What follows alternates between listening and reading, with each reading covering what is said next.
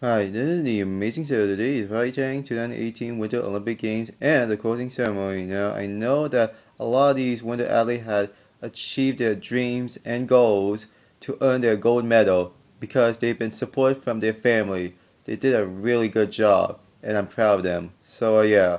But even though that's just how it is. So, uh, yeah. But uh, anyone else, so yeah, as you already know, that on March 8th, that will be Pyeongchang 2018 Winter Paralympic Games, well, only for disabled athletes, just to participate. Well, for example, such as a person in a wheelchair or something. So uh, yeah, but even though that's just how it is. So uh, yeah, but even though nothing much to say about.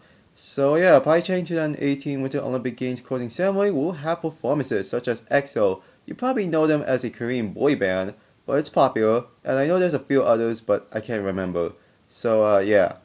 Anyone else? So, uh, yeah, I mean, there's nothing much to talk about, but even though I really do love it. So, uh, yeah. But, uh, anyone else? So, even though that's just how things have changed for the winter athletes, because winter athletes are awesome.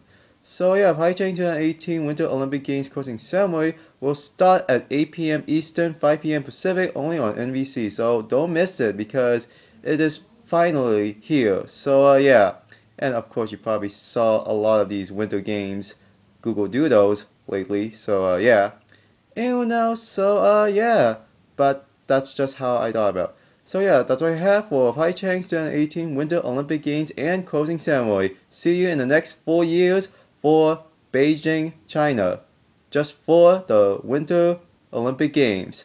Goodbye.